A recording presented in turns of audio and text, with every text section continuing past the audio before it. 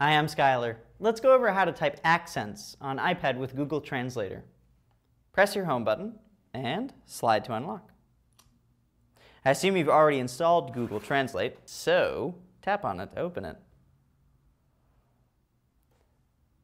Let's say I want to translate from Spanish into English. So I'll find Spanish.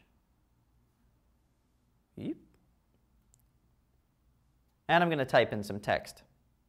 Now, my Spanish isn't too great, but I think niño is like this. Now, to get the, whatever it is, the squiggly line, rest your finger on the N and slide it up onto the accent you want. Let go, and it enters the letter. Then tap go, and there we go. Child, it figured it out. And I did get it in the right place.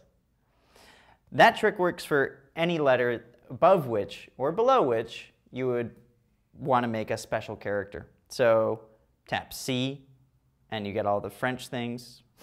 tap E, and you get all the other stuff, like the umlaut. That's pretty much it. That same trick works in any application. It's actually part of iOS. Happy spelling. I'm Skylar. Thanks for watching.